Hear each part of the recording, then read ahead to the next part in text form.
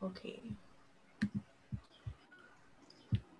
So, welcome everyone to the fourth set of the Climate Resource Management and Human Development Community Resilience Initiatives in Asia 2020 webinar series. Our session today is broadcasted live on the of the coastal cities at risk in the Philippines and on your screens. Please be guided by the house rules for today's session. Our attendees and all attendees and participants must mute themselves upon entry and turn off their videos. The ceremony will be recorded for, for documentation purposes. For our distinguished speakers, please keep your videos off and your microphone muted, especially if it's not your turn to speak. For, us, for our speakers as well, you'll be hearing my voice when you only have three minutes left. For our attendees, please send your questions through the chat box at the bottom of your screen so our team can note this and raise it during our open forum. For our listeners on Facebook, you can send in your questions via the comment section. We begin this webinar with opening remarks from our main convener, Dr. Emma Porio, who is also a professor at the Ateneo de Manila University's Department of Sociology and Anthropology and the project leader and principal investigator of the CCARPH project. We now welcome Dr. Emma Porio. Oh my God. Um, Hello. Good morning, everyone. Welcome to session four of the Climate Resource Management and Development Lecture Series with special focus on community resilience initiatives in Asia 2020. In behalf of Roberto Yap, CCARPH project holder and president of the Ateneo de Manila University, and my partners at the Departments of Sociology, Anthropology, and the Political Science Department, let me welcome you to this uh, fourth session of our webinar series.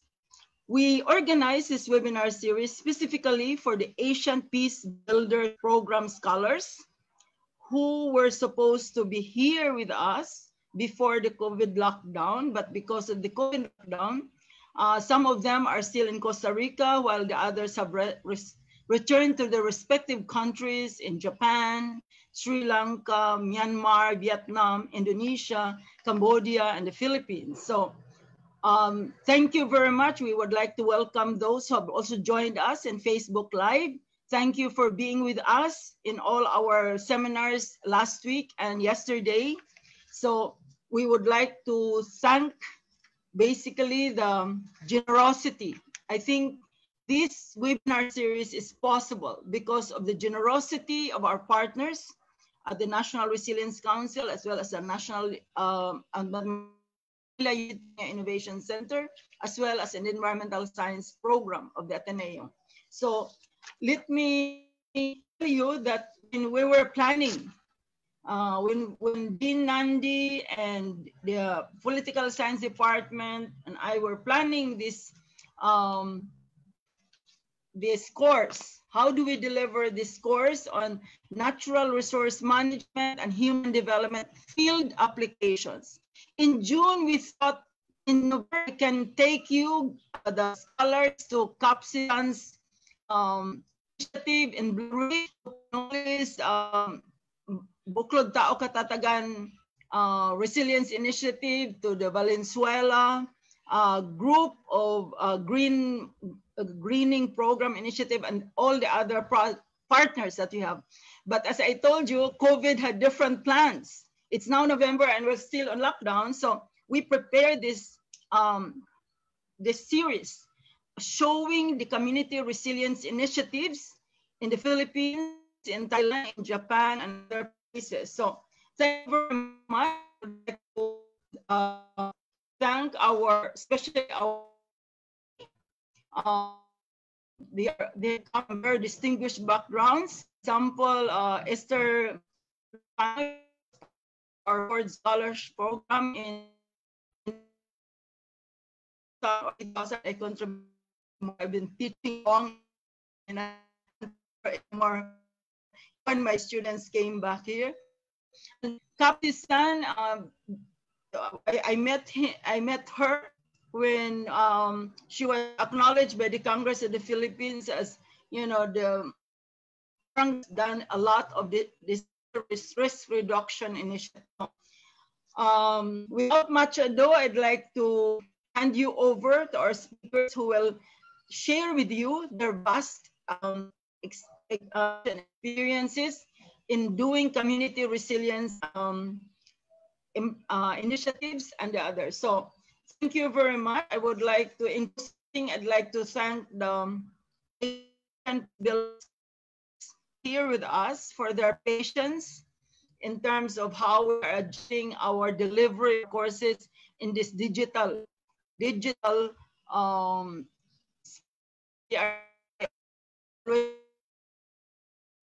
from the box. Really exciting and then I've learned a lot from all the speakers as my students. So uh, let me thank again our speakers, the previous ones and the current ones, for them us the their knowledge, their wisdom, and how they do initiate and foster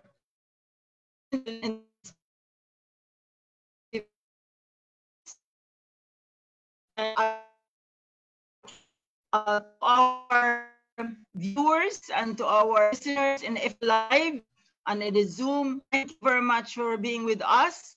Tomorrow we will have the Mekong panel of Professor Chayan Bonaparte of the Chiang Mai Resource Center University. And then we will also have um, of the Center for Peace and Conflict Studies, and also uh, from the International Rivers Pianan and Deputy. Okay, so thank you very much, and you take it from here. Thank you very much, Dr. Porio. Now we start with our lecture by calling our first guest speaker, Barangay Captain Esperanza Castro-Lee, or Kap Sessan, who will discuss BREATHS, which stands for Blue Ridge Environmental and Agricultural Template for Health, Economy, and Security. Kap Sessan is the barangay captain of Barangay Blue Ridge B, District 3, Quezon City, Philippines. Let us now welcome Kap Sessan. Morning, everyone. Um, again, I'm Kap Sessan Castro Lee, um, the Punong Barangay of uh, Blue Ridge B. Before becoming a Punong Barangay, I've had more than 30 years of work, corporate work experience and um, all the things that I've learned in the from the corporate world were applied now to the local government in my barangay. I've lived in Barangay Blue Ridge B for more than 54 years already. So it's a community I love so dearly and would like to take very good care of. Okay. So Ina, do I start now? Yes, Cap. Go ahead. Okay, so I'll start to share my screen. Okay. Okay. Can you see it? Yes, Cap. Perfect. Okay, so because um, so my topic is on community resilience initiatives in Asia, and we're very proud to share our experience in Barangay Blue Ridge B. Again, I'm Kap Sessan. My presentation will have lots of photos, but uh, I will be going fast because of the time limit. You do not need to check out the details of the photos. It, I just presented them there just to prove to you that the things that I am discussing really happened and they are real, okay? So I have 15 minutes, okay? So just two slides on, uh, it's not, Ina, it's not moving. Yes. Okay, there, okay. Just two slides on the political structure of the Philippines. Uh, the barangay is the smallest unit of government in the Philippines. We start with the national, regional, provincial, city or municipal, and then you have the barangays, which is at the grass, grassroots level. We are the frontliners of the government for various services. We have executive legislative, and judicial powers. Specific to Barangay Ridge B, this is the map of Quezon City. And Ridge B is that small yellow spot at the bottom right.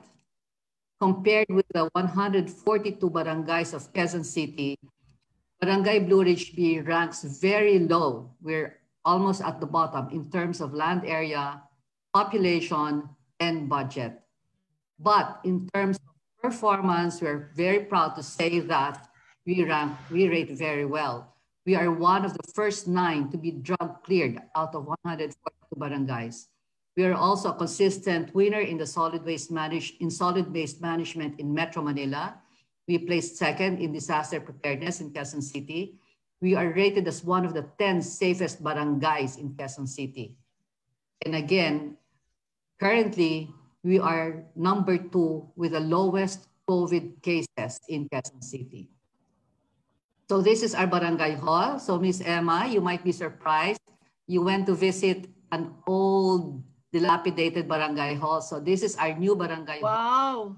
Yes, so where we moved into just last May 2020, just this year, just last May, in the middle of the pandemic. Okay. Such a big contrast, Mrs. San. Yes. So Barangay Blue Ridge B also sits on the West Valley Fault. So that is the, the fault which is expected to cause the big one. So our disaster preparedness is really for the big one, for an earthquake. So we presented our disaster preparedness plan to Congress and also to the class of uh, Ms. Emma last year in Ateneo. We want our objectives to be very simply stated so that people can easily understand it. And these are defined to lead to resilience. So the first is, in times of disaster, we want to survive. Second is that we want to be in a position to help. Third is we want to provide some comfort under miserable conditions. And then fourth is to be ready to, be, to rebuild. The photo shows our um, blue drops, which is part of our disaster preparedness. Our plan to build up community resilience was tested unexpectedly when COVID-19 came. So what did we do? First, and this is the most important, the barangay immediately became the strong voice in the community. Flashed on the screen is our mobile phone number. It's 639171822272. If you read it, it is 639171, the beautiful barangay Blue Ridge B. Okay? So from that mobile phone, we've sent out text blast messages, which are official, factual, immediate, and inclusive. Whether you are rich or poor, the homeowner or a tenant, the employer or the driver, you are in our barangay, we will send you a text blast message. It is two-way communication and residents were engaged. The left um, slide, the left photo shows the text blast which we sent out last March 13 to announce the declaration of uh, state of emergency by president. On the right side is the announcement by, is our text blast when the president announced the community lockdown on March 16. That means nobody can go out of our of communities. Second, the barangay did not panic. We did not panic. Because we were prepared, supplies were on stock. Unlike other barangays who had to cram for suppliers for alcohol, face masks, surgical gloves, we just pulled these things out from our blue drums on the photo that, you that was shown earlier. We also had funds ready to immediately buy other equipment and supplies needed. Therefore, we were able to disinfect inside and outside homes and streets immediately. These are um, uh, screenshots uh, grabbed from Facebook pages of uh, our barangay before and other friends. Face masks were distributed, at least five pieces per family.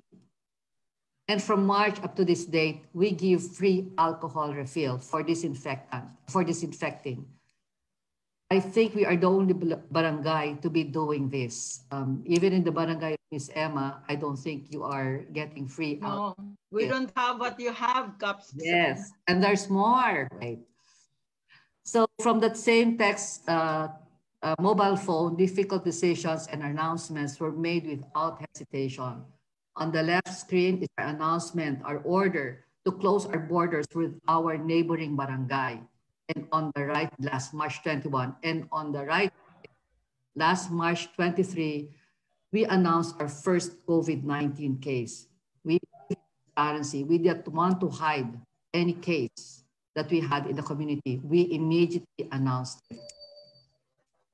Third, we controlled quarantine and curfew protocols. We issued quarantine passes and ID cards and monitored curfew during regulated hours. Fourth, and this is uh, interesting, we creatively served the needs of residents so that they will stay home. We do not want them to go out. So we decided to serve their needs. Okay, so the major project here was the first community market and other needs.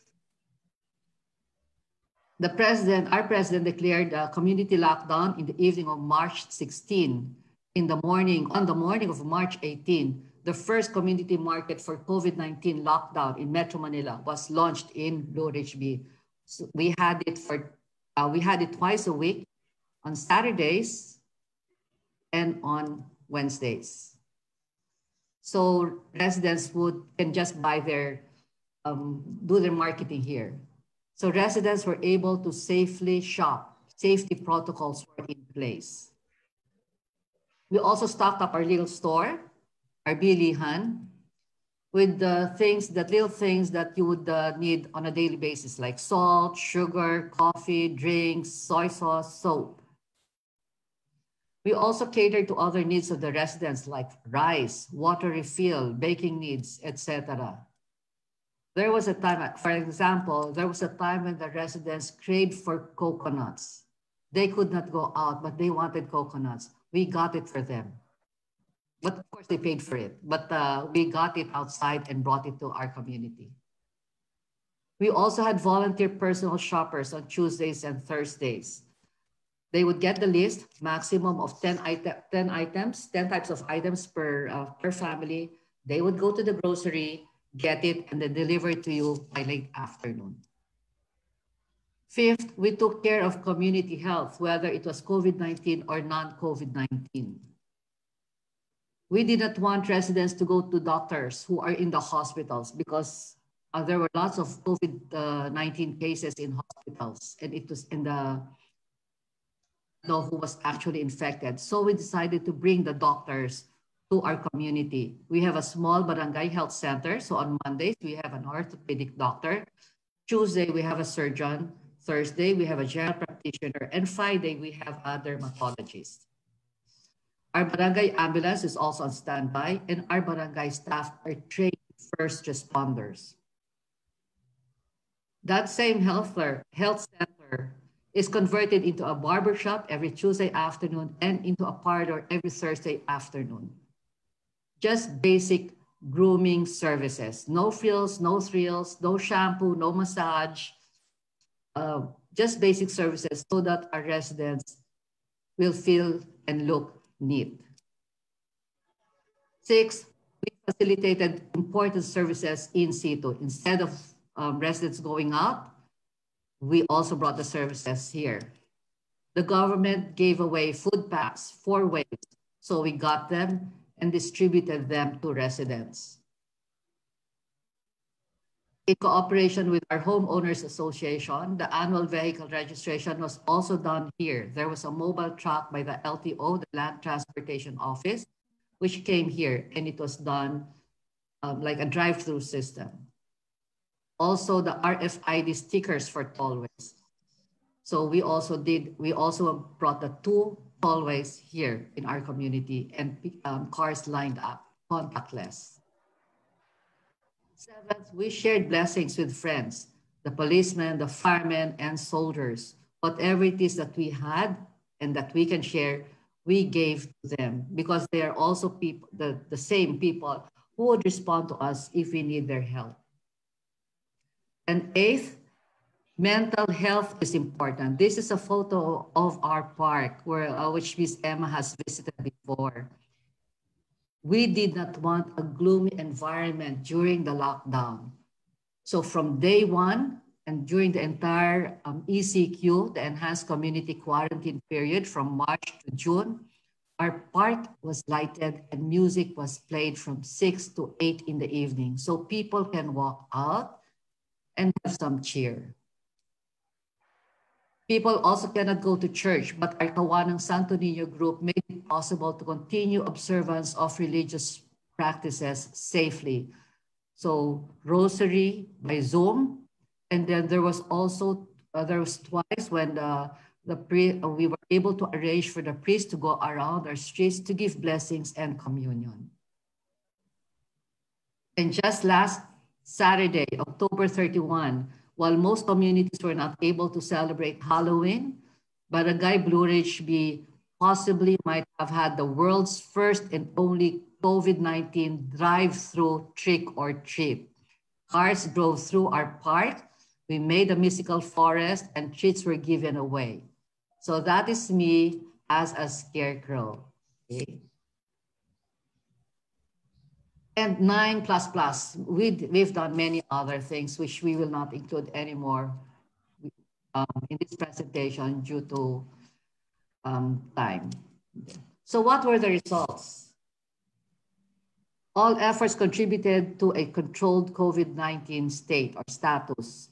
As I mentioned earlier, we are number two out of 142 barangays in Quezon City with the lowest COVID-19 cases. Residents self-reported exposure or symptoms. Families and individuals were swabbed promptly and discreetly.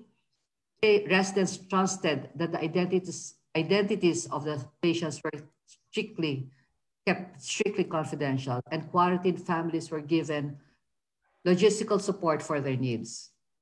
Quality of life was not diminished even during lockdown. Services were available. And these are just examples of food Ingredients from our, our community market were transformed into delicious dishes, which residents shared in our Viber group. Restaurants were closed, so this couple decided to have dinner by candlelight using ingredients from our community market. They are enjoying oysters and shrimps. Neighbors got to know each other. This is necessary in disaster management. Instead of cook, just cooking for themselves, they made extra portions and started to sell to neighbors.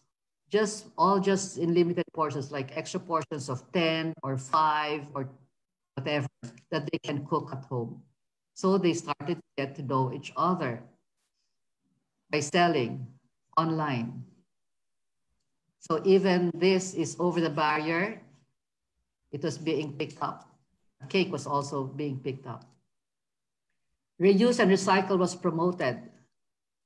Our Homeowners Association organized the seminar, online seminar on tidying up. And after residents tidied up, they found lots of things in their homes, which they did not need. And there's a separate Viber group, Blue Ridge B Garage Sale, where they sold different kinds of items that they had, they did not need anymore at home. And the best part was the community took care of us, of the barangay too. Blessings just kept on coming. Food, accessories, spreads, personal items, plus alcohol, tent, whiteboards, and many more. They just kept on giving us stuff. Last September 18 to 20, the barangay staff were quarantined for two days due to a positive COVID case. The community fed us with love. So this was day one, breakfast, lunch, dinner, and snacks and day two, breakfast, lunch, dinner, and stocks. Most of it home cooked by our residents. Finally, this is the, where uh, Blue Ridge B BREATHS comes in. The blue community grew green. It is one of the earlier seeds we planted towards community resilience. So this is our park area, a terrace area, which was empty, dirty, full of weeds before. We had it cleaned up December 15, birth of Blue Ridge B BREATHS, the Blue Ridge Environmental and Agricultural Template for Health, Economy, and Security. Security is for food security. We started to plant.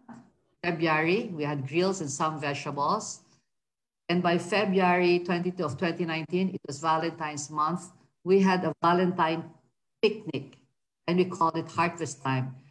And the uh, lady in black is our Mayor Joy Belmonte cutting our first harvest of lettuce. Barter trade, we'll give you vegetables for your recyclables. And of course, you know, Dr. Emma Porio, who was picking fresh chilies during her visit to our barangay. We know that our BREATHS project cannot feed everyone. There's lots of people, but our park is very small. So we gave free vegetable seeds and we sold composted leaves. Leaves um, swept off from our streets are all collected in one compost pit, allowed to decompose. And when it's fully decomposed, the texture is soil-like. And the community started to plant. in pots, in their gardens, on the fence. And this is actually uh, the fence in my home, which we started, I think, sometime 2018. And it is, and we made it as the model of BREATHS. And now most other people are doing it here. And even by their gate. See, it's pretty harvest time. So fruits and uh, some are being uh, cooked already. So these are the ladies of Ridge B with some of the ladies in Ridge B with their um, harvest. Okay, so overall, residents feel happy and safe to be within Barangay Blue Ridge B. Um, this has been repeatedly expressed by text, by written messages, and by phone calls and personal conversations. They've sent us lots of messages and cards and notes. Before resilience in an urban setting, because the next presentation is rural, so I, am talking about urban setting, I find it to be individual based. It mostly referred to the structural resilience of individual homes usually confused with convenience at their fingertips because in the cities, everything you need is instantly available if you have money. People do not know how it is to be deprived of this. And there is expectation for the higher government to respond to their needs. Now, COVID-19 forced urban families to deal with resilience as a community. Now they know that it is possible to be stuck with each other, whether one likes it or not. There must be a strong and consistent voice. Helping and sharing is a two-way street. Preparations for any eventuality is a must. Trust and communication are important. We have this uh, bad Filipino habit called Ningas Kugon, and we hope that our residents will remember the lessons of COVID-19 and not fall into this Ningas Kugon trap. Ningas Kugon is when we start something with interest and enthusiasm, it's go, go, go. And then after a very short time, they lose interest and stop whatever it is that we are doing. We hope that we do not fall into that trap. Okay, as finally, community resilience is an investment. It is an investment. Ironically, we pray that we are not given the reason to reap its rewards. We pray that we are not given the reason to reap its rewards. Maraming maraming salamat po. Thank you very much, Kap Sessan. Um, sorry, I sorry I went over time. No, no problem at all. great. Like the pictures very much. Thank you. This is an example of the notes. We have lots of notes set by residents. So it says to Kap Sessan and Blue Ridge B staff, thank you for taking care of us. So we have we've received lots of okay, students know what evidence-based yes. governance means. Yes. So Miss Emma, do you have this thing, these services in your barangay? No, uh, no, I should not say. Cap Darwin Hayes tried, you know, one of these favorite uh, subdivisions. So I'll, I'll compare with you. And may I ask for your permission? I'll PDF your PowerPoint and share it with our board. Yes, with please. Alta Vista board. Yes, Thank you very much. Yes. Okay. Thank Okay, thank you very much, Capses. And now we call on our second set of speakers. Um, we who will be discussing capturing indigenous perspectives and ecosystems-based adaptation inside ancestral domains. This will be led by Ms. Maria Easterluna Luz Canoy, the Executive Director of the Kitanglad Integrated National Government Organizations or NGOs Incorporation in Bukidnon, Mindanao Island, Philippines. She is joined by with by Bai Inatlawan, the head claimant chieftain of the Indigenous Peoples Mandatory Representative of Barangay Dalwangan. We now welcome Ms. Easterluna. Thank you, Ina. Uh, first of all, thank you, Dr. Emma, for you for inviting me to share in your course on resource management and development, human development. I understand this is supposed to be a field course, but because of the pandemic, that doesn't happen. But uh, I'd like to fill in the gap to excite the students no, from Costa Rica and parts of Asia uh, to walk you through to one story in Mount Kitanglad, wherein you can see all the an application of the uh, objectives of the course, and we hope that by the end of this presentation, you would have ideas about transdisciplinary um, social development. You can see many actors, uh, stakeholders, um, partners, and you can see the blending in of uh, scientists and locals and hopefully see the fruits of co-ownership and the bridging work. You know? So this is my presentation. Uh, welcome to Mount Kitanglad Range Natural Park. Uh, since we're talking about uh, resource management and since we're also tuned into climate challenges, the climate change adversity, so we're looking at uh, ecosystems-based adaptation, how does nature being taken care of, but interestingly from the point of view of indigenous people. I'm joined by, Bai Inatlawan. She was here yesterday. She uh, left a message for the group. Uh, she saw this presentation and gave blessings to be shared because a lot of it's about her community. So welcome to the Mount Kitanglad, the area. And then uh, this is what I designed for your learning. Uh, First, we need to understand there's also a cultural perspective in looking at climate change, uh, the impact, and in terms of communities um, residing in the forest domain. So that's one. Second, you need to understand the principles, the precepts of means of living of these people inside ancestral domains. But since these are also special areas of nature, preserved nature, this also attracted the interest of the state to have it proclaimed as protected areas. You would also understand these changes in land value and land use. And third, you look at the interface of systems and mechanisms because there's protected area, there's ancestral domains. Uh, might be the first time you hear uh, these concepts, but does it really conflict or not? Because some indigenous people they don't really like uh, their areas to be proclaimed as protected areas or natural parks. And then fourth, we need to understand how IPs adapt in this research-rich environment uh, with the use of local knowledge and skills and practices, and how this in terms of biodiversity that we want to be preserved, the ecosystem services that benefit not only the of the uh, general well-being of the Filipino, so first, we need to understand the uniqueness of this presentation must be anchored on the local context. So you have, this is a glimpse of how indigenous people, uh, tribes and live and culture in Mount Tanglad. So there are survivals of colonialization. They still maintain their identity. So the, in this picture, you can see uh, they're praying um, uh, they put blessings, no, a ritual calling for the spirits of nature to say thank you that reached the peak of Mount Kitanglad. But to the ordinary trekkers and mountaineers, they step on this uh, rock altar because for selfie purposes, but they didn't realize that it's actually an altar of the tribe.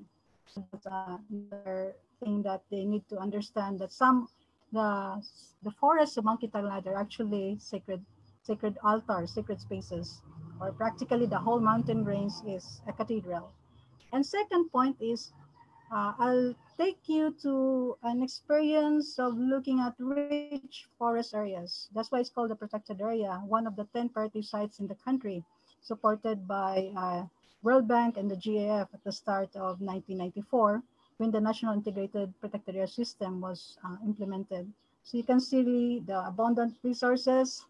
And then when we have nature with us, that's when you can see the development in terms of the economic needs of community, the human development for people to thrive, and social development because it holds community.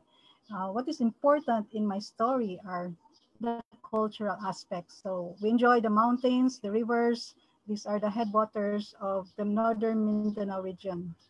Another view of Mount Kitanglad, if you trek to the mountaintop of Mount Dulang-Dulang, this is the second highest peak. And practically the whole protected area is an important bird area. Also, site, the home of the Philippine eagle. So we just celebrated yesterday, we opened the 24th annual Takitanglad celebration. That means it's been 24 years that we've worked in, in preserving these protected areas, also an ancestral domain. So, so many peaks and intact forests. And these form as the watershed and the headwaters of important rivers like Cagayan de Oro, Tagoloan River, Pulangi River, Manip River. recall in the Sendong in Cagayan de Oro when the flooding happens. Uh, people in the lowland always look up to people in the uplands like uh, because of the loss of forest that's why we've been flooded so but you have to look at the bigger perspective of landscape it's not just about the absence of forest uh, there's a lot of reasons why also flooding occurs and then it was not possible for infrastructure to support it. Uh, you can see also culture here in the next slide. So before Mount Kitanglad was proclaimed as protected area, it is principally an ancestral domain where we have three tribes, the Talandig, Bukidnon, and Higaonon. My work when I started there as an NGO, bridging the government and the indigenous people, and it's interestingly, it's three tribes, Talandig, Bukidnon, Higaonon. So you have to work with three tribes first before you bring them to government, and for the government to start to listen to the, the aspirations and the needs of the indigenous people. So it's basically a bridging work. But when you have an area protected under the, the NIPAS law, which is part of our policy, which is not, which has already been, um, um, I think they, the, the NIPAS law is already uh, modified into an expanded NIPAS that we have already about 300 plus protected areas. But basically, these are the goals. There's biodiversity conservation, there's sustainable development, development. But since uh, KIN, as a mediating institution, we look at the value of culture and the indigenous people in the protected area. That's why we added a third objective, which is cultural survival. And that's where our approach matters because we give importance on the people's values and, and tradition. This is the Batasan customary law that we try to promote as part of the rights of indigenous people inside the protected area. So you can see in the succeeding slides that the tribes assert their culture to government, to NGO, to the church, to other partners, because it's basically their ancestral domain.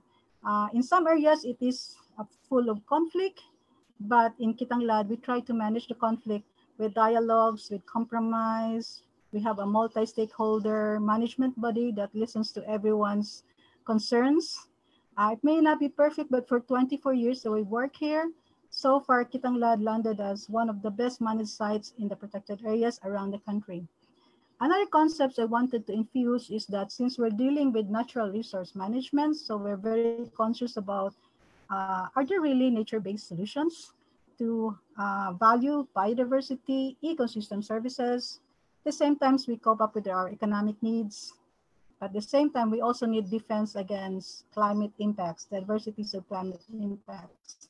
That's why the future needs to consider an ecosystem-based approach, but one that integrates the combination where you have biodiversity in the equation, the ecosystem services of preserved forests, uh, healthy river systems, and the all, overall strategy, how people cope with uh, climate, uh, climate change.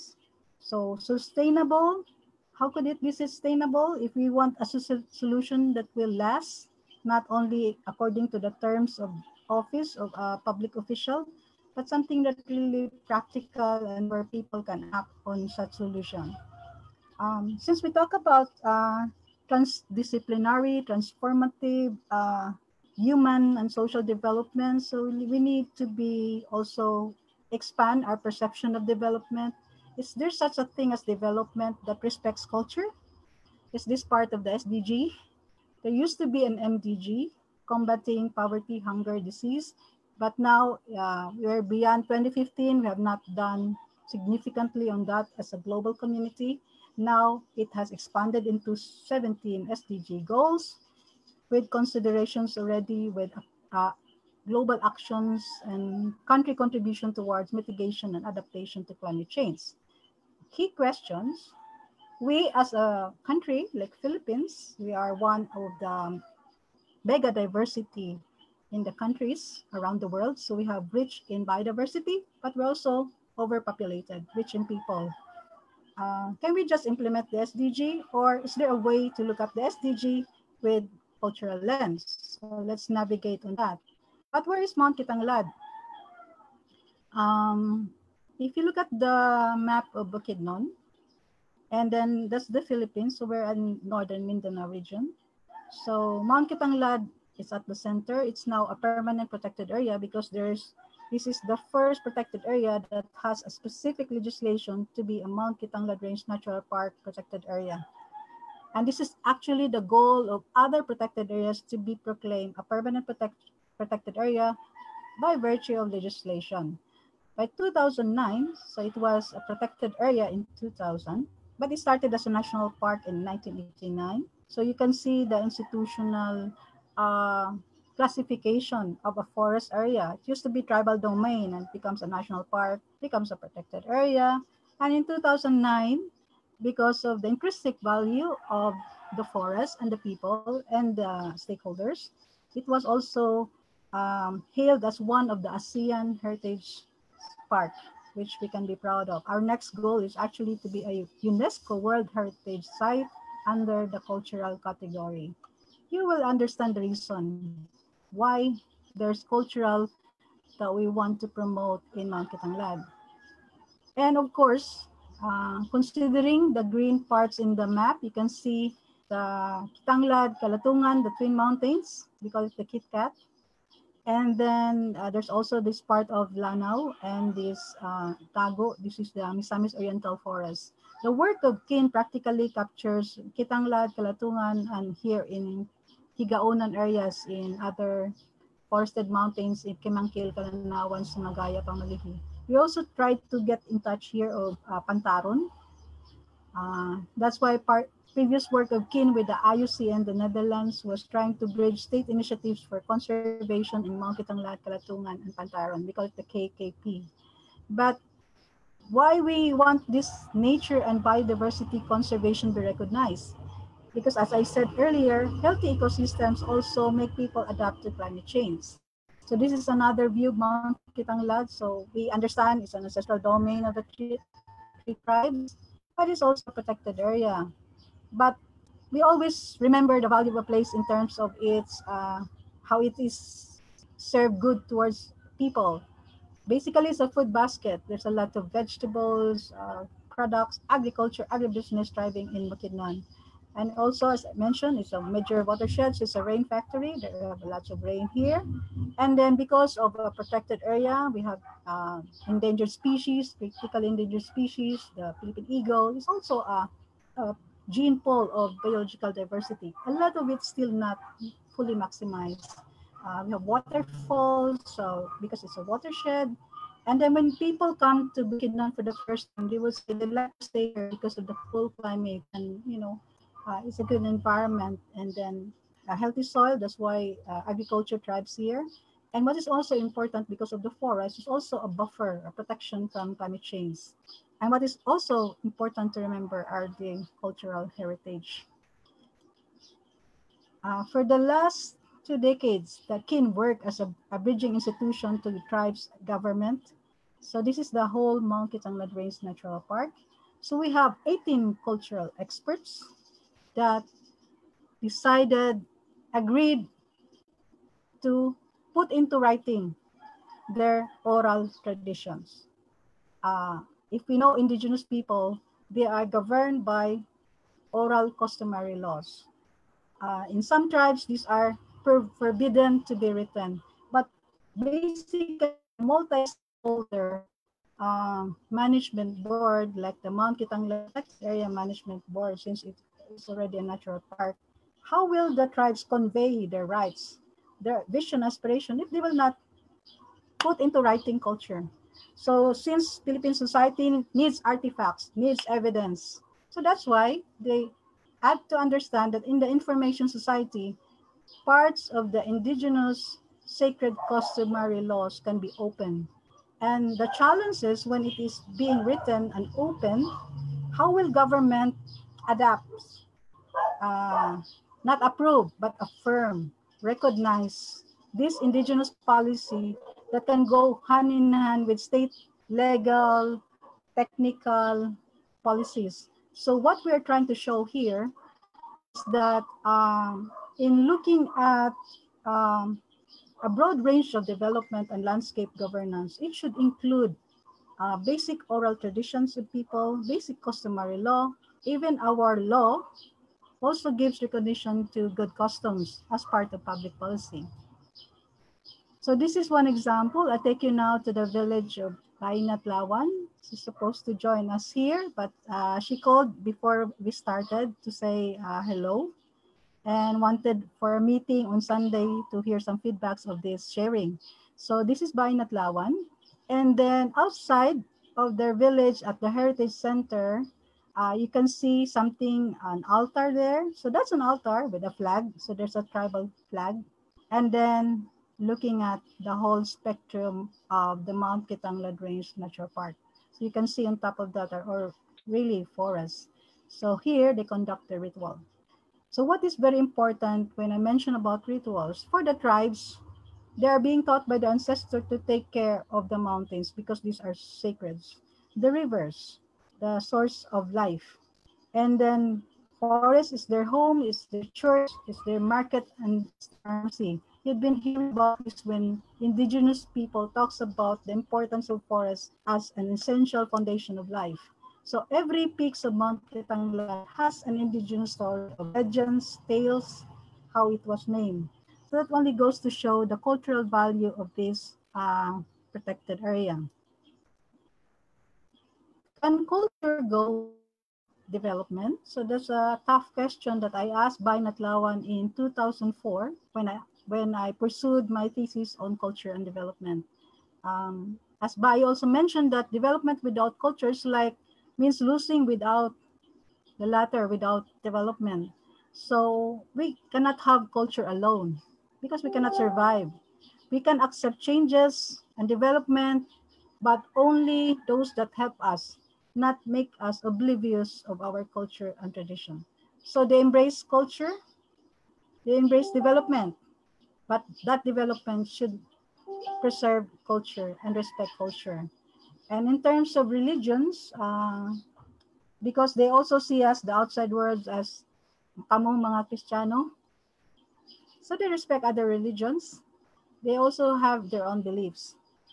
But in Bai's uh, experience where they're being told what to do, certain decisions over their land, so you can see already the dictates of the states and government and institution about what should be what needs to be done in the inside the ancestral domain. So by by words that we're not like machines with a steering wheel where people could just turn where they please, which is true. And then do not treat us like cattle that can be driven away from one place to another.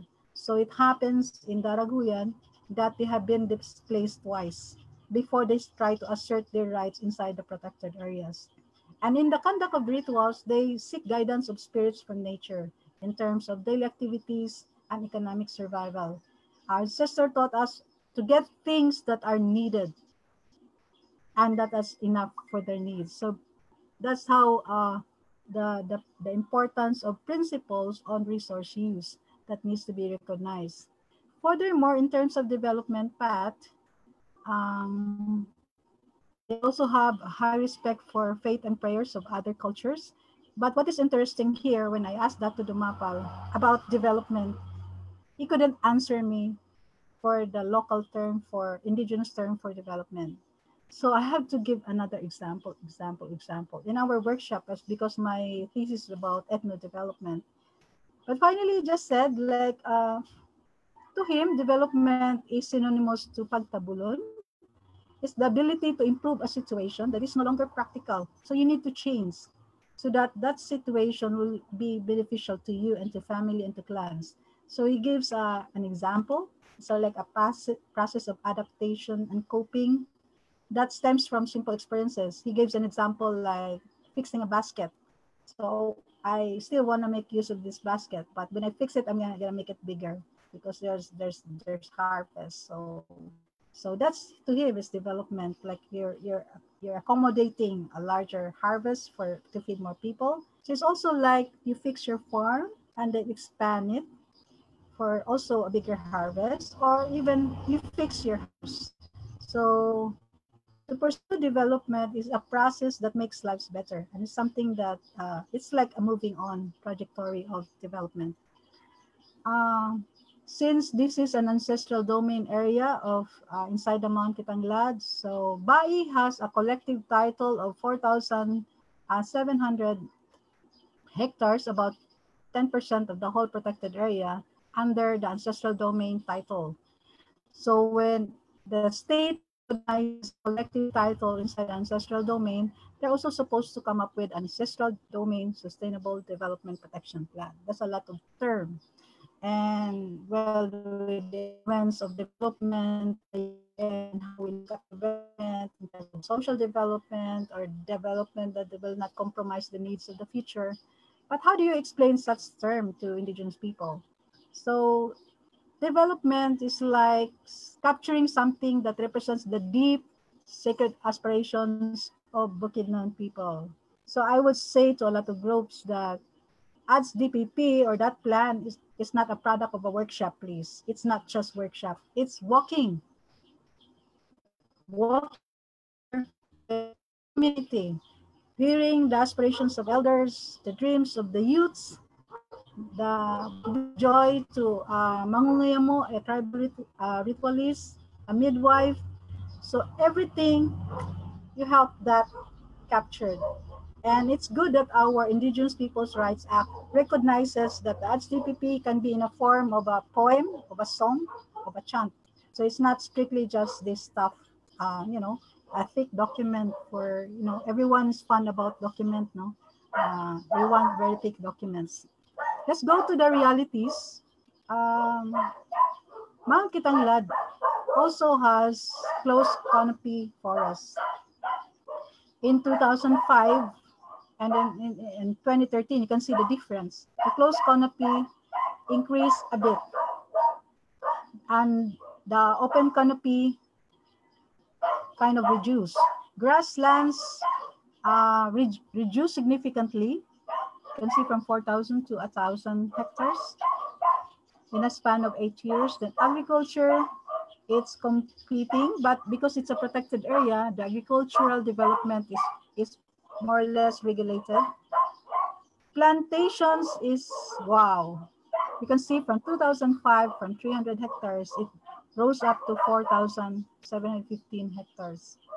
So that's the entirety of Mount Kitanglad. So this is basically the challenge that you have a protected area, but how come plantations crept in? Why? Because plantations and agribusiness wants to be closer to the landscape of forest because it's good for business because agriculture needs healthy soil, but it's also a challenge in terms of development because uh, what is the plantation for? How do tribes benefits from this uh, plantation?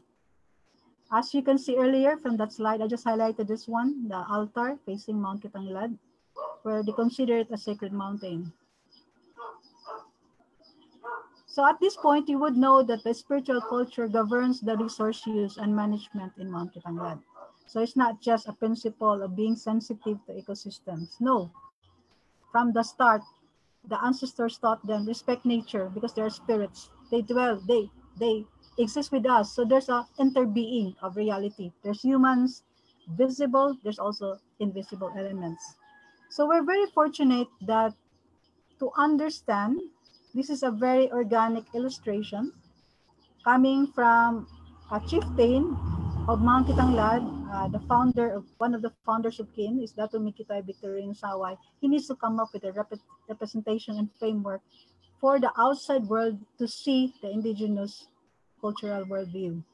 Here you can see in the diagram, it's a, a picture of a human being. And then you can see there uh, the functions, the cultural expertise,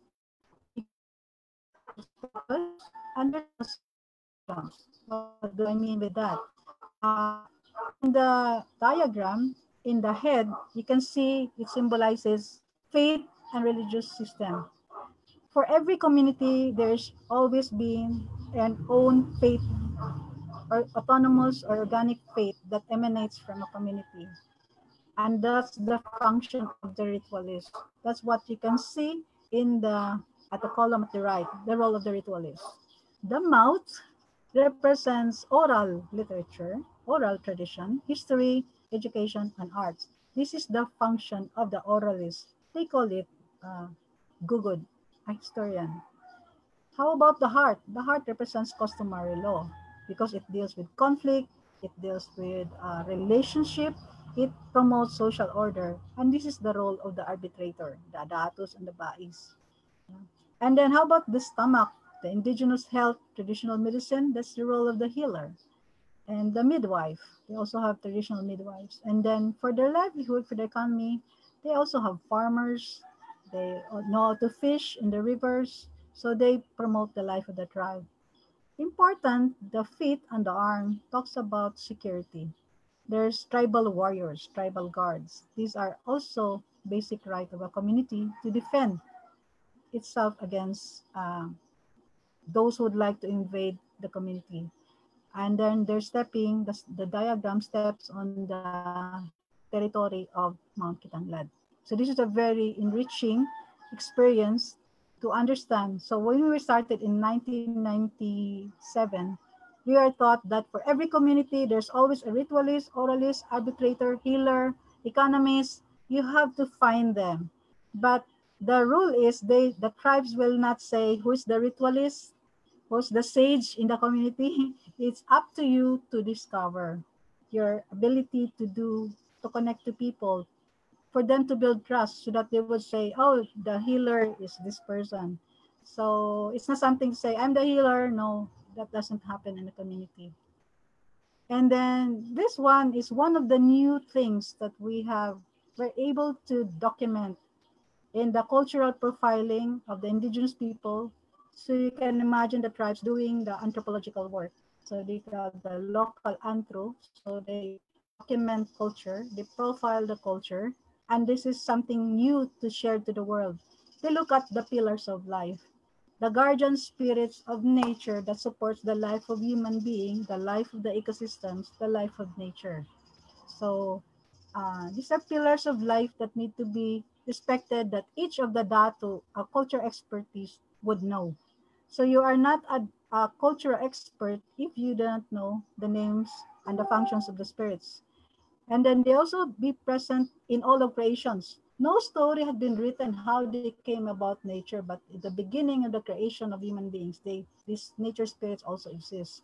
And then during the ritual, the shaman, the babaylan, the ritualist, the talamuhat can invite them that's why in the in the in the communion part of the ritual, the first part is the offering. So there's the sacrifice of animals, and then there's also offering. There's communion because you now invite the spirit of water, the spirit of nature, the spirit of land, of earth, the spirit of wind, the spirit of fire, all the nature elements. So what are these spirits of nature?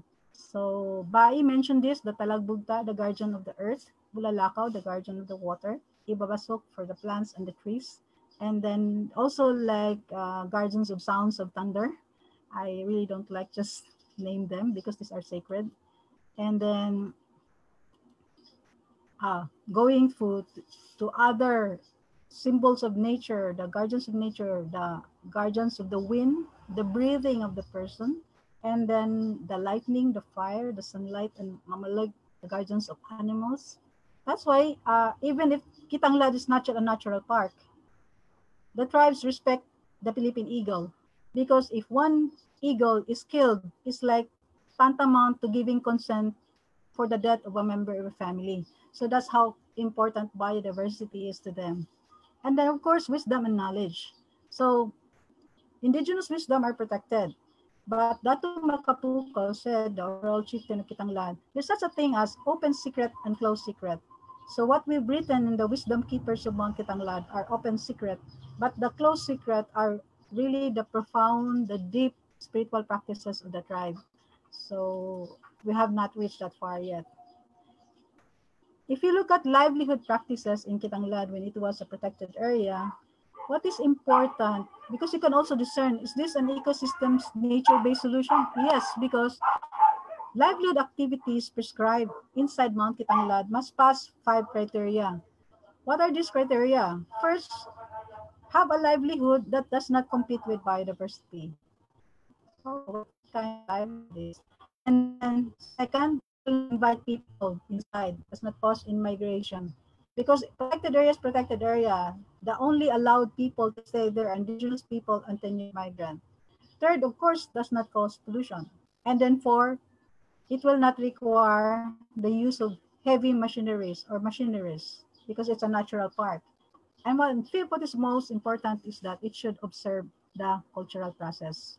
So even if before the IPRA law, there's prior informed consent, but for the tribes, it's already part embedded in their consciousness and precepts. If you want to look at livelihoods, so there's still part of it shifting cultivation, but it's regulated, uh, non-destructive farming practices.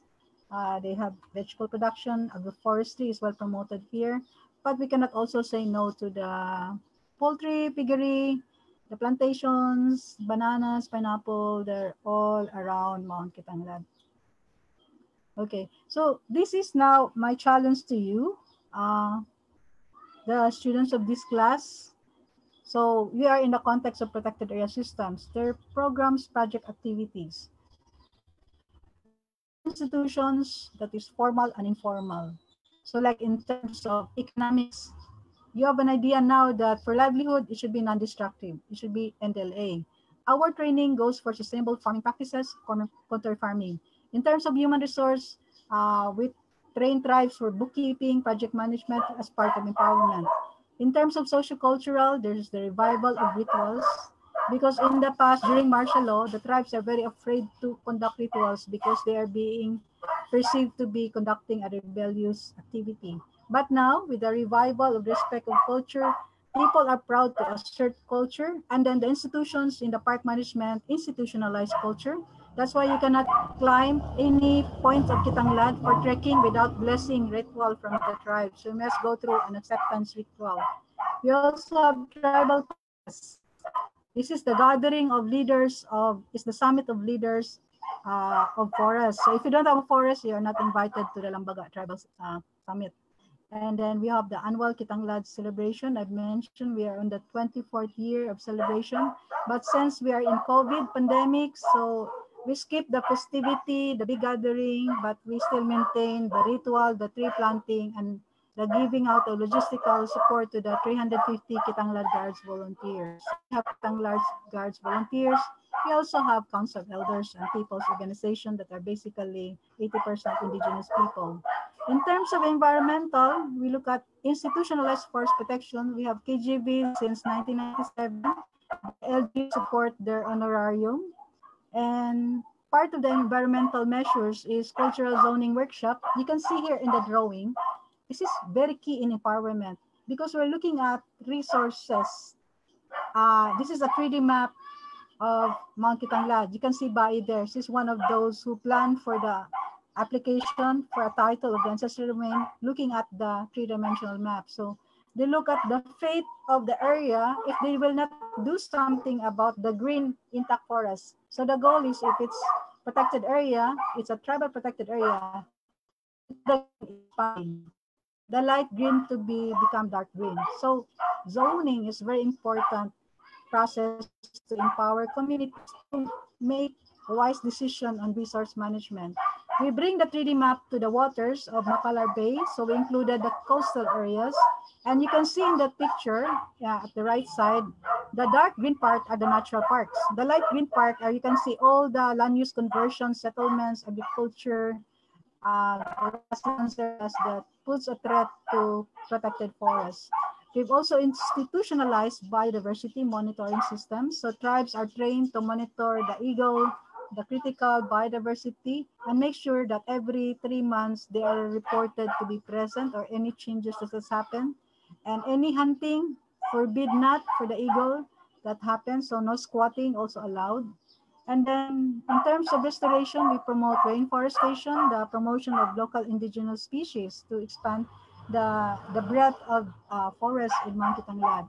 For decision and policy making, uh, the park management really have to recognize the rights of the tribes for their tenure. Some tribes will not say no need for a paper to prove tenurial rights, but for Mount for Daraghuyan, they have an ancestral domain title for the 4,000 hectares of their territory. Uh, the, the effect of having a CADT is that they have more or less uh, strong uh, authority in the management of the ancestral domain. And they have an ADCP as the basis of planning. Advocacy, this is a lot of KIN's work. We promote the rights of tribes inside the protected area. We also promote that other than the state, what is inside, biodiversity, flora, fauna, the forest, our cultural property, and then we also promote schools for living tradition because this is where we promote new knowledge on balancing culture and development.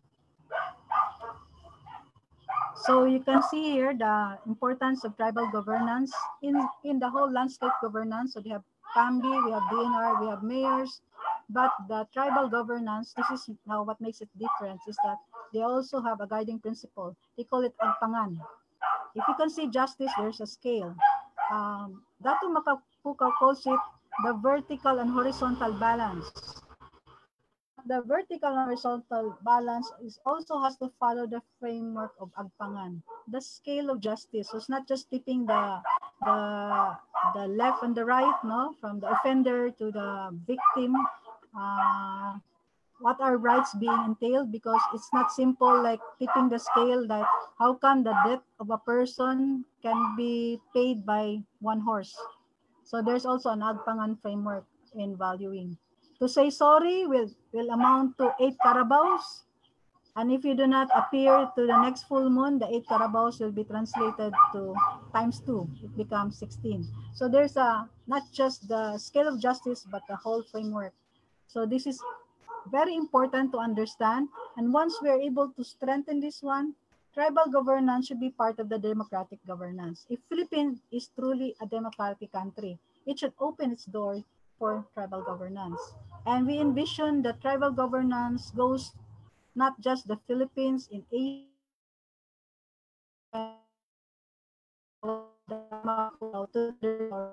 of their that help strengthen Mount Tanglad to is now. So I'm almost nearing to my conclusion. Uh, so the robust forest, vibrant ecosystem is a springboard for human development. What is important when they adapt to the forest domain, they adapt because they're also guided. That's why activity be constant and permission Some people will ask, why we have free prior informed consent when we approach a tribe. The thing is, by explain, it's not me. We introduce you to the spirits of nature that your intentions will be felt by them. Them not sincere and it will know. Uh, one example, illustration of A mountain is reserves like a human. It has feelings. Because if connected with nature, we can actually feel nature. It's also our gifts as a being. The tribe show us very easily. Uh, this part the picture here, a military commander. In one incident, he. He had to go through a sorry ritual how we apologize for the community. Uh, Colonel Gapos, in turn, was battalion commander of 400 Brigade, wanted babies people from the UP so he has to order a, a bombing. But in that bombing, also damaged the forest.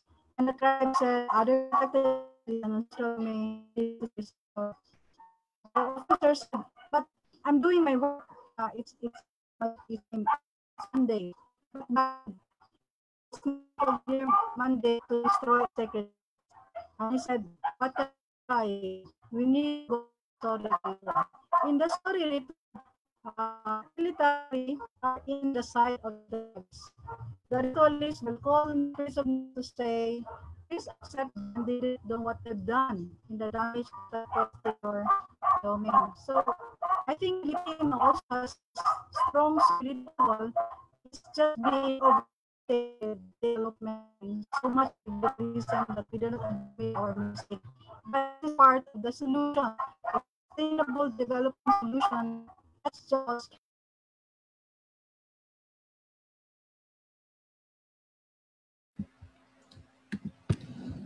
I think we lost um, Mr. So I, I think Ina will ask Yeah. her to, you know, record later, you know, Alright, and then we'll that's what we'll put in our YouTube. sure. So So, Uh, Miko, can you put the open she's back forum? now. We actually have correct now. Esther, are you back? Yes, I'm here now. So I'm gonna Okay. uh, Oh, please continue. Uh, gonna leave you the words of Bai Inatlawan. Uh, this was recorded yesterday just from my phone. So the audio be not, not strong enough. But I put the meaning of what she's been saying. Um, Okay. uh, for this, I got to hear there. Okay. Okay, let's listen to Bai video.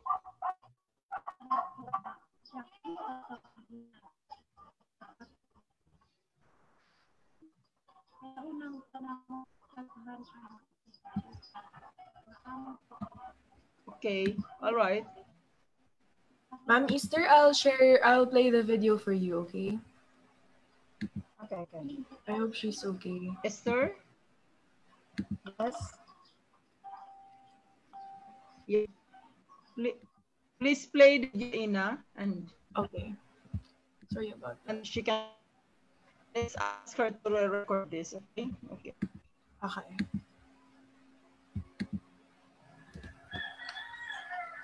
Ah, nakita na ko nga dako ang kabaliinan sa atong kinayahang pagkakaroon.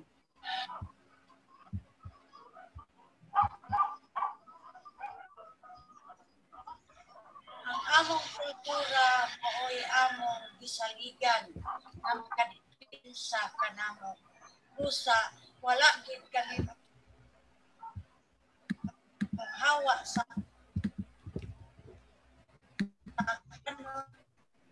pamaagi kay mao gyud among gisaligan nga makadipinsa sa COVID, sa katalagman, bagyo o baha, mao gyud makadipinsa sa amo. Mao nga amo hindi alimahan ang kulturan mo sa kaarab nga pipilit ka namo sa among katigulangan.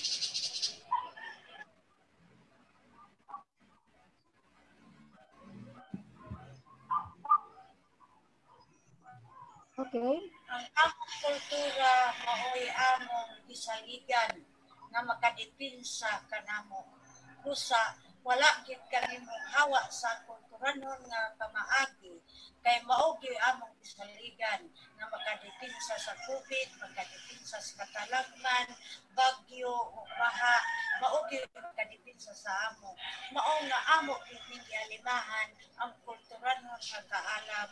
Nga gibilin ka namo sa among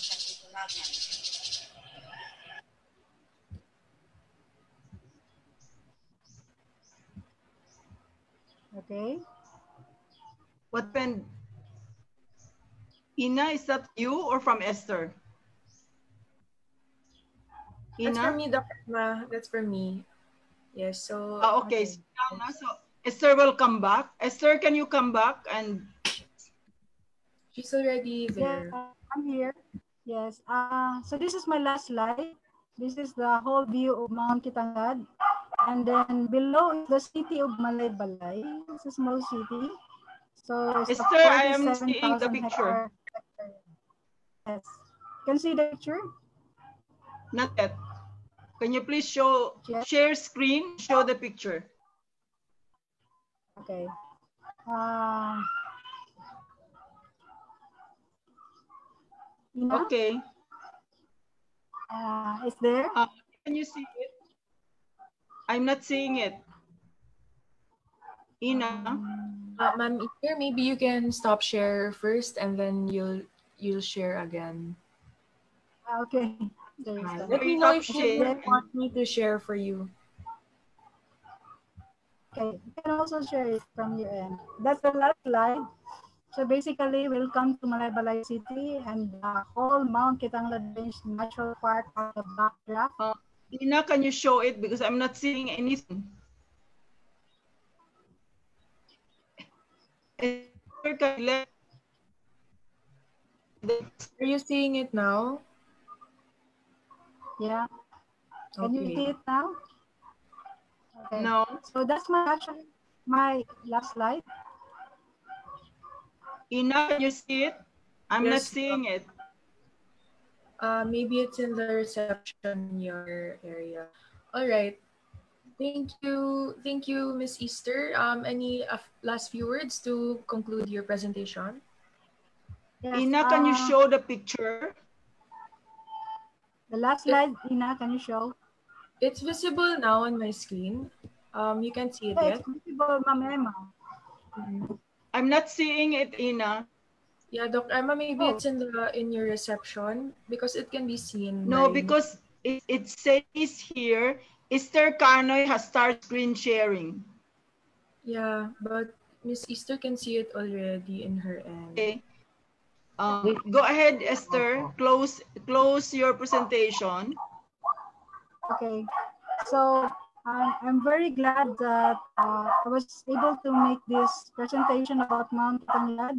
I just like to conclude my presentation that uh, Kitanglad represents an integrated, autonomous, ecosystems-based adaptation. It's not a product of any input from anyone. It's something that they live through their lives. So that is very important to remember. And then if you look at sustainable development solutions, if you're going for sustainable development to pursue as a way for future towards human development that is balanced, equitable, fair, and just, uh, you look at the experience of Mount Kitanglad. You need to see the strength or the vulnerability of the ecosystems or the resources. It's all still preserved because of culture. And then there is an integrated adaptation strategies that you can see. They also work with the park management, but basically in what I presented to you, they have their own way of life. But they cannot stop agribusiness, plantations, but what they're trying to preserve are the intact forests because it remains to be sacred to them. The entire Mount Kitanglad is a sacred Okay.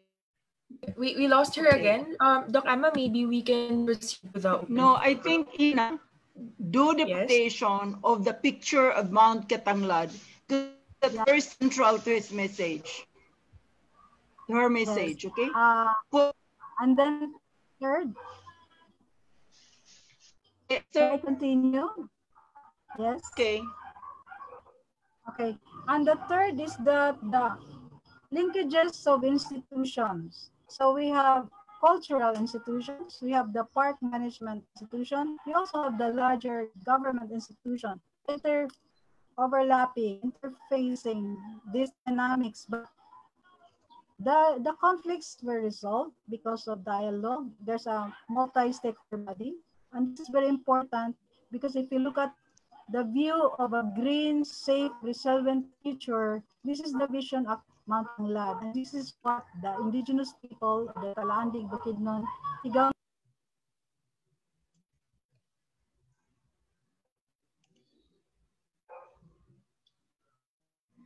Uh, we lost again, Ina. No? Yes, we lost. Um, So, maybe we can proceed with the open Okay. forum. okay, you, So, Nico, can Oh. you share the slide for instruction? We actually have already questions from our for our first speaker. okay, So may I call back um, Miss Um, Ina, we will ask her later to record on her own and Okay. send it to us. And that is what we will put in our YouTube channel. And that's what we will share with our viewers later. Thank you. Thank you also. Okay, hi. So, All right. a question Okay, to Kap. Um, Yeah. There was one here from the students of the Asian Peace Builders program, a scholarship program.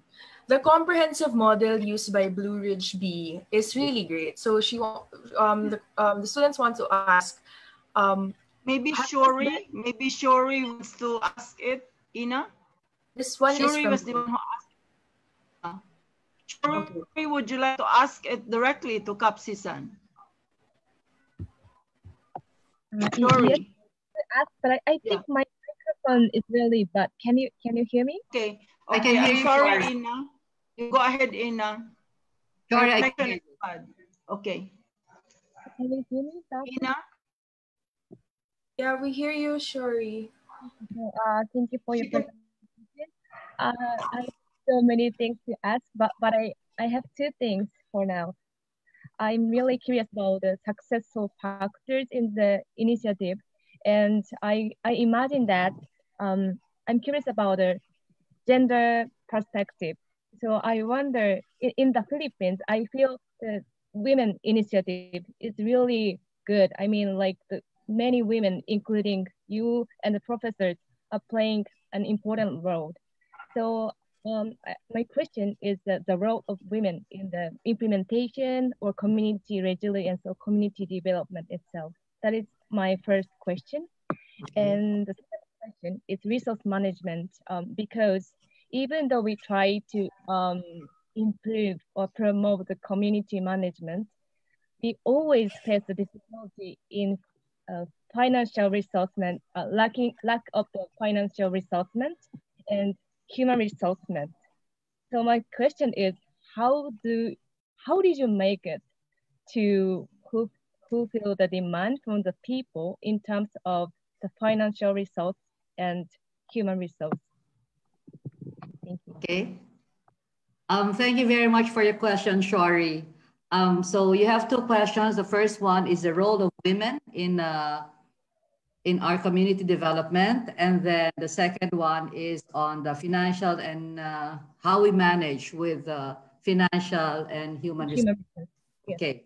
Exactly. So in the Philippines, may I just share when I was studying in the UK before for my master's degree in uh, social development, that's way back 1990s, early 1990s, when my when I was first introduced to the term gender equality, I cannot relate to it because in the Philippines, um, gender is not really a very very big issue like in other countries. We still have some uh, gender issues. Anyway, but uh, mostly women here have opportunities to participate because they are educated, they can vote. Okay. So at the barangay level, we encourage, no, actually, it's not an issue. Everybody's welcome to join. We have programs for women. We actually have a committee on um, uh, violence against women, but we do not have issues on that. Uh, when we have training programs, if you are fit enough, regardless of your sex or age, you can join. um, even in uh, disaster preparedness training programs, we allow women because they might uh, mostly be at home. So they are allowed to participate and their skills will be used when, uh, when it's needed, when disaster strikes. Okay, so actually we have, uh, just show yourself. If you can uh, show, um, wait, okay. Uh, with me is Kagawad Kate. She's the one in charge of uh, gender and development. So it's a very active program. If there's an opportunity, we'll share with you um, next time. And then lack of uh, financial and uh, human resources. As I mentioned earlier, out of 142 barangays, our barangay, Blue Ridge B, has ranks very, very low in terms of budget, while other bigger barangays would have uh, tens and hundreds of millions of pesos in budget. We just started with around 6 million pesos in 2018. Um, then now uh, we are in uh, 7 million, 7 million. But we do not, but we are able to give more services than other barangays because not a centavo leaks out of our funds. Everything that we spend in the barangay is accounted for down to the last centavo with a receipt. Um, there is a contractor system in the Philippines where um, a contractor will uh, will procure or facilitate your needs, but they get a cut. Usually it's around 30%. But since our budget is very small, we thought that we cannot afford to have 30% of our money leak out. So we painstakingly attend to all documents needed just so we can spend our money 100% on barangay requirements and account for everything down to the last centavo. So in other words, we are, we claim to be corruption free. Thank you. Okay. Ina, are there questions? I think uh, Thank you, Marina for that. Hosoda also wanted to ask about the finances, but I think Shuri-san already took it over. So Ina, can you take over, please? Yes, I have another question here from Lynn, also a student in the class. Um, Lynn, you can pose your question now to. Okay, she says she has some problems with microphone. So I'll read her question. How about her- Aya? Uh, maybe we can read Lynn's question first. Um, Lynn, Katasan, Lynn's question is, the comprehensive model used by Blue Ridge B is really great. And she wants to ask if this has been, if you, would you know if this has been replicated to other barangays as well? Um, no, um, um, last, we have a disaster preparedness plan. So it's, it was just a plan. And uh, although we were very small, we had the guts to present it to Congress last um, in uh, last November um, 2018. And I think that's where um, uh, Miss Emma Yeah, I saw you. yeah, found us. We were um, seated, seated alongside many big companies and uh, government agencies. And we were this tiny barangay, but we knew we had a plan that can work. Our intention was let people know, and then we are very much willing to share it with other um, near barangay, other barangays.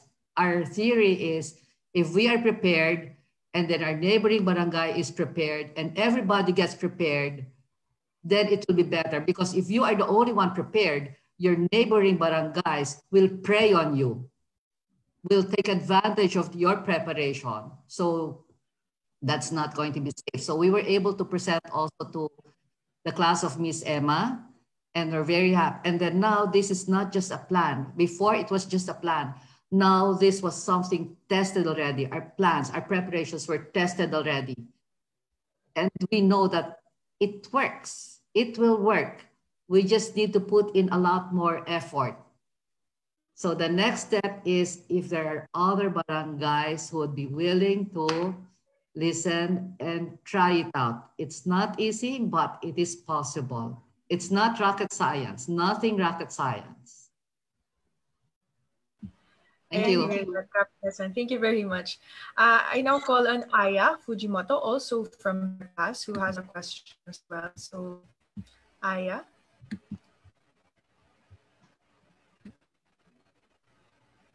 There we go. Hi. Aya. Thank you so much for your presentations. It's good to hear, like actually great to hear the positive example in the early morning. That's made my day. Um, so my question is um, similar to theory, it's gender issues. Around the world, under lockdown or COVID-19, we are seeing like existing gender issues has worsened because of uh, such as limited access to care work or uh, domestic violence, etc.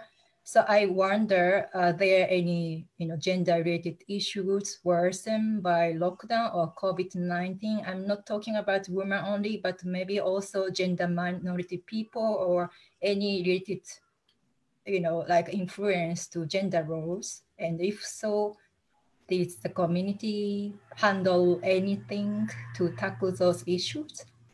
Thank you.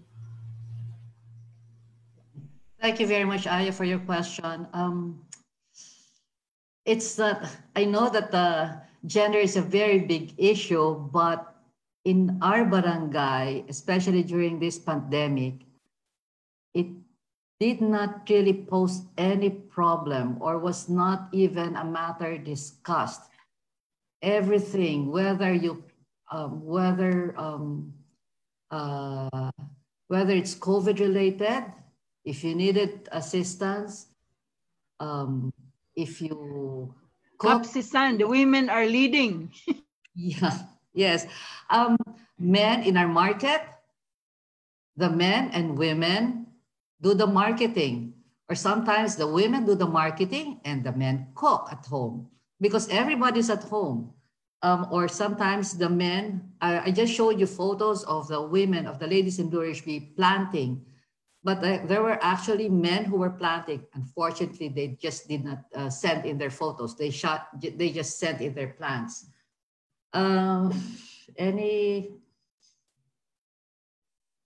ah, yeah, there were no issues. We treated, everybody was treated equally and availed of our services equally.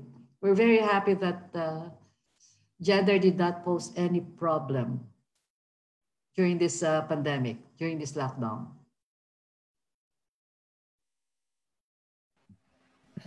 Thank you. That's also great to hear, like, you know, gender equalities.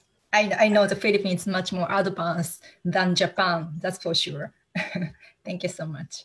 Oh, wait, just to add, I might be, well, female, but because I'm the leader here in the, our barangay, I am very, I can be soft, but I can be very tough. Um, it, uh, so, so far there's respect and trust and they follow and they cooperate. Thank you. Thank you. Thank you so much, Kap Sessan, and thank you, Aya, for that question. Um, I, I'd like to know if Miss Easter is still in the room. I think uh, we, we can, yes, Tina. yes, we can pose her one one question um, about youth in the in Mount Kitanglad. How are children and youth involved in promoting and enriching cultural practices in relation to taking care of their environment and natural resources in Mount Kitanglad? Um, thank you for the question. I mentioned about the, having a school for living traditions. So the community of Bai has their own tribal school, and it basically like a school to learn about culture. And um, but what is very interesting in a community life, everything is done live, real time. When there is a ritual, even the children can participate and witness. If everyone offers, the kids will also offer. They will hear the prayers you will see the actions of elders. So it's really discipleship. that eventually among the broods, among the siblings, one will rise. The one which has the brightness of aura will assume the next role of a leader. So they're very, very um, cautious about growth of children. So that's why it's also it was also a decision of Datu Makapukaw to do a cultural profiling. Because the kids went to school, there's nothing on culture uh, that was written about them and so many words of wisdom they, they can hear from the elders, but how come it's not written? So I think we're still um, need double time uh, in terms of dissemination of cultural stuff uh, with mga cultural curriculum. So we have the youths leading designing the curriculum. Now that we are online and they're looking at sample materials and modules and they're building their own, they're creating their own. So they're very, very receptive. Kids' work is not limited to elders, to women, to the cultural experts, to the farmers. We also include kids, not only youths. So we even have activities wherein the kids, they also have their own uh, recycling workshop because they're, they're, they're at home. So we need to tap their creativity. So we need to be, as a community worker, we have to recognize the aspiration, the needs, the enthusiasm, the eagerness of every member of the community. Fully agree with that, um, Ma'am Easter, and thank you very much for your response. Happy to hear that. And also, please extend our gratitude to Bai Inatlawan for her video in, uh, in your presentation. I see one more question here from Joy. She's also a student from in the Asian Peace Builders Scholarship Program. Joy, would you like to pose your question to our speakers? Um, yes, thank you. Um, thank you for the presentation. Both of the topics are very interesting.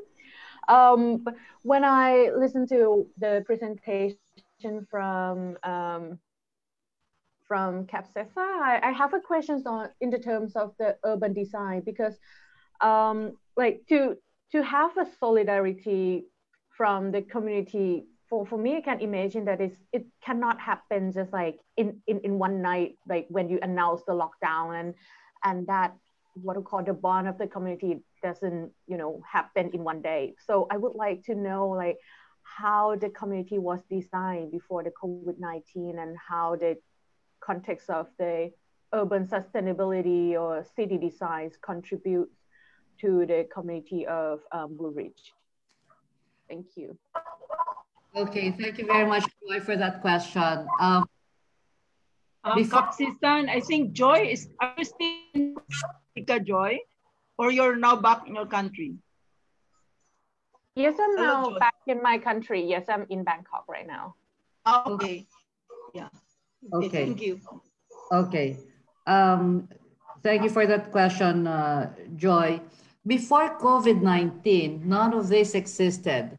In our disaster um, preparedness plan, it included and very specific that we wanted neighbors to know each other. Our barangay, Barangay Blue Ridge B, has mostly, um, we have a small depressed area but mostly the houses are big and gated, fenced off. So only a few neighbors knew each other. Not everybody, like I would admit, I did not know everybody in our barangay. Um, there would only be groups of friends, um, people who just settled in would not know the other residents. So in our plan, we wanted people to know each other. So our programs before were we had bingo socials where uh, we clustered everybody. We had we created opportunities, events, activities before COVID where people can come and meet each other. But before we came, people were not even joining activities in the barangay. So we really had to think of creative ways to make them come out of their homes, join and participate and get to know each other. Like the, um, like the um, harvest time um, that we showed you where the, our mayor is cutting the, of making the first cut of the um, lettuce. We had the community picnic We've never had a picnic in, uh, in Blue Ridge before. Or we've uh, will organize disaster preparedness trainings. We'll uh, bring the fire truck here and uh, allow people to see or ride on the ambulance, on the fire truck or the ambulance. We'd make it interesting so that people will come out and know each other. But that was not yet enough. People, people, many people came out, but the others were not yet coming out. And then with the text blast system and the Viber group in the community with the COVID-19, people understood that we were stuck with each other, what, for eight months already? We had to know each other. We had to like each other. We had to help each other. So now I know more people, even by face. I call them, they call me. Um, neighbors would also know each other. So uh, that is one of the blessings of uh, COVID-19. We were forced to know each other. So when the bigger disaster comes, but hopefully it doesn't, we can help each other. Oh, and I forgot. In our disaster management plan, we, it was important for us to know each other because we wanted to, it was supposed to be in, um, houses would be clustered.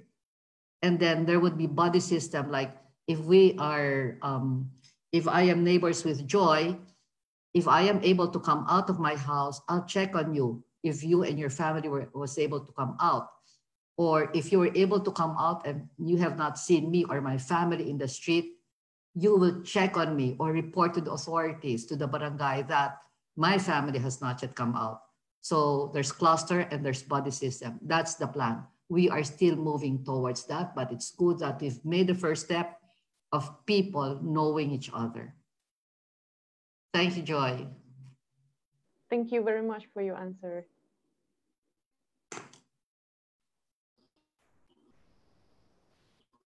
Thank you, Kap Sessan.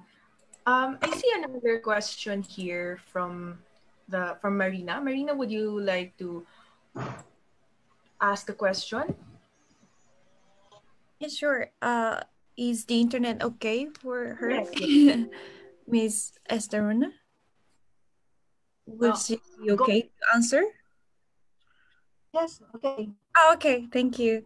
So thank you for your presentation. I have a question about the um, your first approach when you interact with the uh, indigenous people or the community, because no matter we tried, we cannot be the person who live there. We are always outsider. So I just want to know, like, if you go to the patriarch to talk first, or you find a key person inside the uh, indigenous community, like that, I would like to know your approach. Thank you. Thank you, Marina, for asking a question in doing community work. Uh, first, you must have a good reason why you need to go to a community.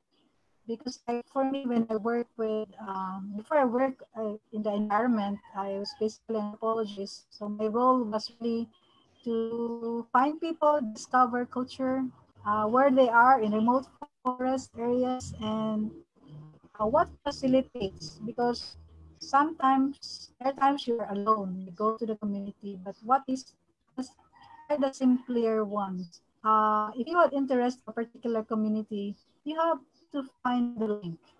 And mostly in the 80s, the link was coming from the church workers because this will have tribal missions. So in they already know the people there. Uh, so you need to kind of uh, connect to them. And I started actually as a volunteer. So uh, this is a principle that I carry on with NGO in KIN, that it welcomes volunteers. So when you volunteer, you are there for the community. Uh, you're there to help, you need to understand first. You don't, you don't, don't impose to help because you need to understand their concerns, their needs, their aspirations, and then you have to think that the concerns, aspirations also is important to you. Be a connection because the tribes are very, very sensitive. So they can sense pretentiousness. Uh, so this can also sense uh, malice with your intentions. And it's very interesting because like with Natlawan, when I was uh, going to see her to ask help for a problem, before I arrived, before I arrived, I'll come to think of it, before I arrived, Bai said she was supposed to go to the mountains, but she did not because she had this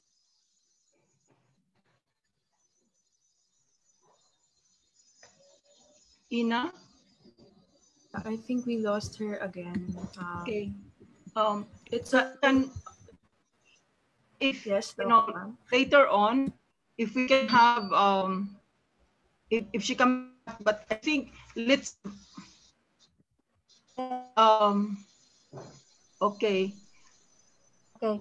Uh, so to continue the story, she already saw my spirit guide coming to see her, telling her that just wait because I'm coming. So I was surprised when she told me that I know there's a problem. Uh, your spirit guide was already ahead, advanced, telling her to wait. And then when I had this experience, I knew somehow that, wow, so this spiritual uh, spiritual belief the tribe is very strong. And i'm very also drawn to that because i believe that there's a lot of the invisible elements. And to know them they're not taught in schools. It is taught by intuition it, it is a light bulb moment because you can recognize presence of what is you know you can feel people with good aura so there's something there so in fact i even expressed my intention to do my thesis so I knew the co- coin ritual. Uh, you have to present a cloth and then you have a coin because the coin symbolizes your truth. So if you're gonna ask questions, so you place it on the cloth and then let's say, Bai, is it okay to consult your spirit guide? Because the tribes believe we all have spirit guides and our spirit guides connects us to nature. So that's why you can understand some people, their their passion is really diving, taking care of the marine, save the corals because their element is very strong. Their element connection with water is very strong. Those with working with environment for, you know, forest protection, maybe the earth element is strong or fire or, you know, fire with the sunlight, the sun. So there's a lot of wonders, but you need to have an open mind. And you know, the, the cup of wisdom is not full, meaning to say, even if you come from school, don't pretend you know everything. When you enter ancestral domain and tribal areas, treat the place with respect. And it's easy to gain trust if you have that kind of governance and presence, impact to other people. Sir, uh, I think uh, to all the viewers and listeners, I think we'll work, as my staff will work with Esther to have, a, you know, recording and edit the things before we will put it in our YouTube channel. So because I think Esther had many insights about the indigenous people's resource management strategies that I think you will appreciate. Okay, closing, do I have to close now? Hello. I think we've lost Ina also. Okay, uh, let me close because we're running out of time. So thank you very much, Kap Sessan. It's always a joy to listen to you and be inspired to initiatives. Esther, yeah, Esther, I learned a lot. I, I would really want to have a deeper uh, session with you, maybe sometime in March for our gender and climate uh, uh, lecture series for the Women's Month. You know, you have your dogs Yeah. in your background, and I have my construction of construction of the people here in my background. So I was when I was listening to Esther, I was thinking, oh my God, the dog wants to participate in the seminar. But but I said, anyway, Yes. so thank you very much, Esther and Kap Sessan. I, I, yeah. So thank you also to my students, to the students in Asia Pacific, uh, Asian Peace Builders Program for your insightful questions. Uh, it is through this participation and responses that you know our seminars work. So I encourage you um, tomorrow when we you know to do the same. So thank you. I always say this what we do works because of the goodness and the generosity of our speakers and our partners at the Asian Peace Builders Program, um, University Office of University and Global Relations like Father Joey and Isa, and also the Department of Science like uh, Dr. Um, Diana Mendoza and Oliver Tana, and of course their Secretary and also um, then at the, our partners at the Nippon Foundation, and then of course our School of Social Sciences, Dean Dean Nandi Aldaba? He was the one who called me in June if I can share community partnerships with the Asian Peace Program. So I'd like to thank Nandi, uh, Diana, Oliver, and um, our chair, Dr. Joel Kanoday. So um, last but not least, I'd like to thank our partners at the National Resilience Council. Um, at the closing plenary on November 12, Fritz, Ohio State University.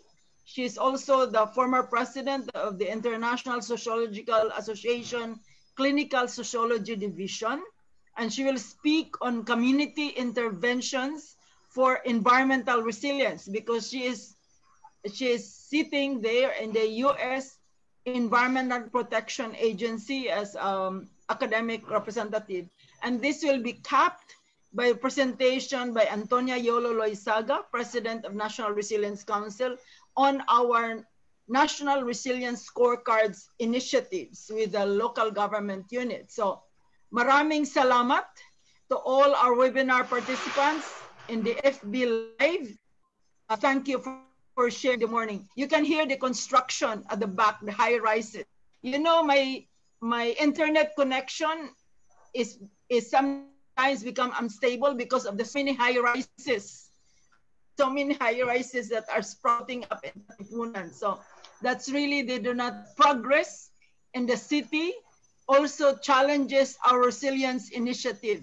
So our pol air pollution, our noise pollution and the like. So thank you. I mean, I'm very sorry to have all these noises in the background, but until tomorrow, tomorrow we will have at 9 p.m. we will have um, the Chulalongkorn Center for uh, Peace and Conflict Studies. And of course, the Chiang Mai University, they have a very vibrant and dynamic resource center wherein they've been doing work, Professor Chayan and the International Rivers Association, they've been doing work around the Mekong River. So thank you very much, Kap Sessan, Esther, and thank you very much uh, for all our participants in the FB Live. We will now close, Ina will close this for the public so that the speakers will have a special time with uh, with the scholars of the Asian Peace Builders Program. So Ina just presented there the